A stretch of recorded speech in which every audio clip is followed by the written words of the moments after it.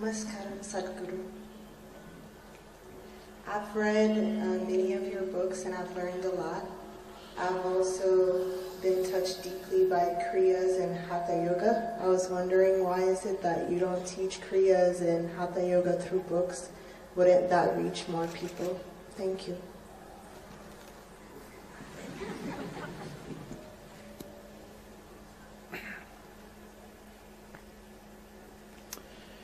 Yoga is not something that you teach. Yoga is something that you transmit. A book cannot do transmission. A book can give you information and inspiration.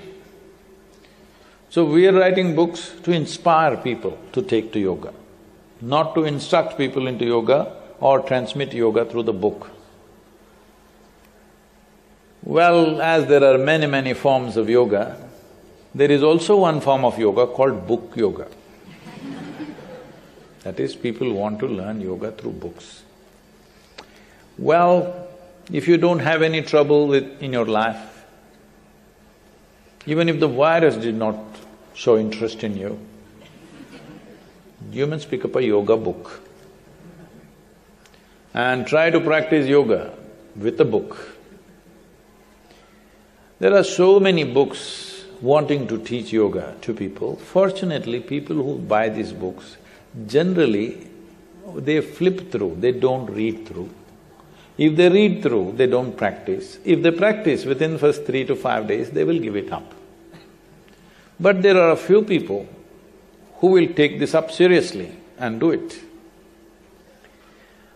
There are thousands of cases or many more who have caused immense damage to themselves by doing book yoga.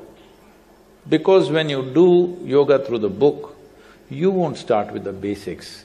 Whatever is they are saying is the highest practice, that's where you start because of course you're eligible, because you can read.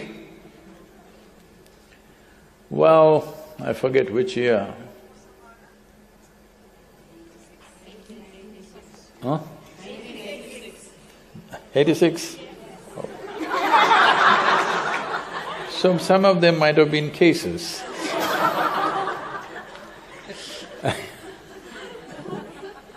Why is that man moving like that? Hello? You're trying to spread the virus? Sit down somewhere. Huh? What's that?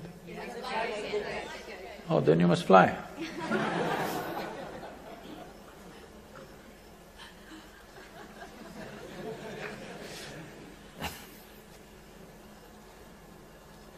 I thought you were trying to do relay, virus relay.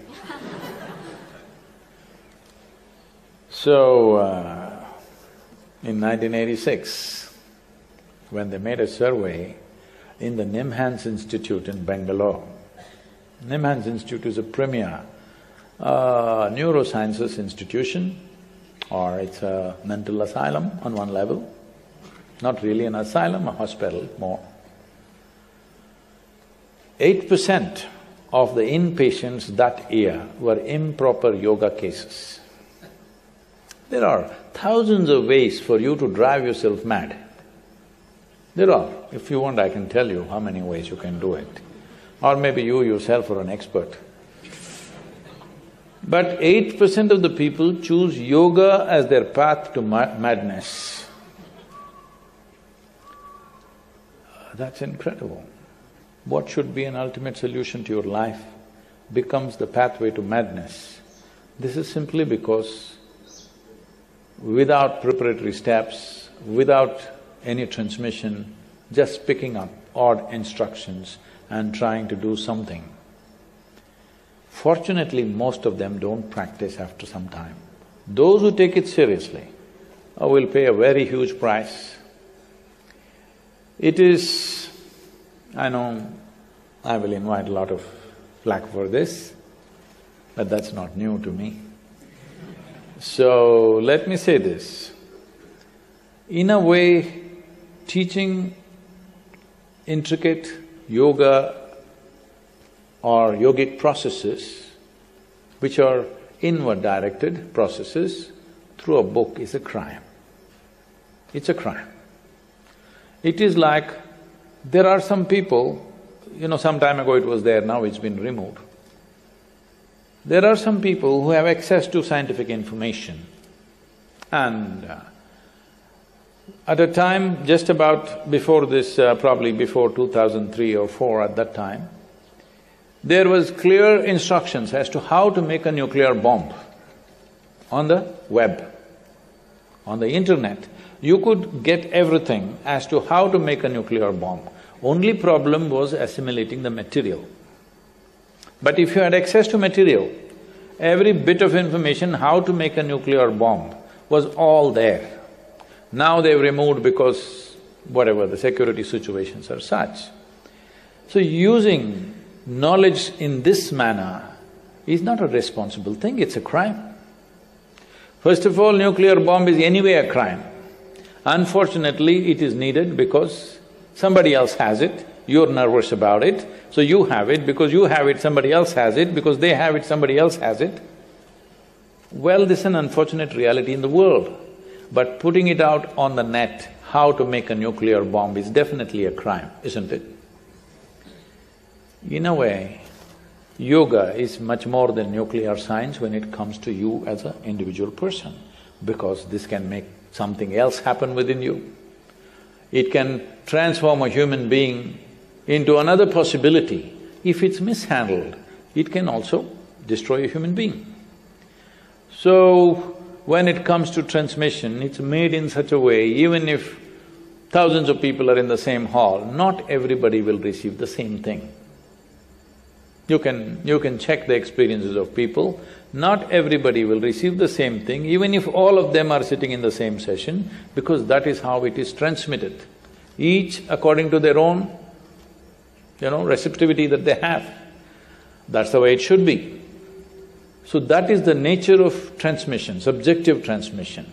But putting all that in a book and thinking it's going to work, no, this book is definitely written by somebody who has no experience of any kind because they've read something somewhere and they put it here. Anybody who has experienced the potency of what it is will never do that ever. So please, uh,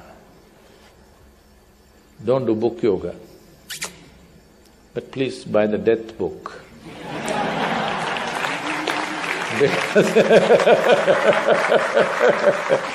this is the first time I'm advertising for a book because all the other books had a choice whether you can read it or not read it. This one, this is for all those who shall die. We will leave the immortal ones, the rest must read. Please put out lots of books out in the ashram so that people can pick it up and read.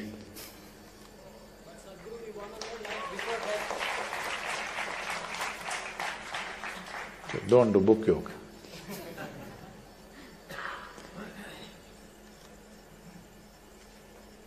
What you call as life is packed between two dimensions called birth and death. If you do not, if you do not hold the two ends of life properly, life will spill out of your hands it won't be in your hands. This is why death. Birth happened without your permission.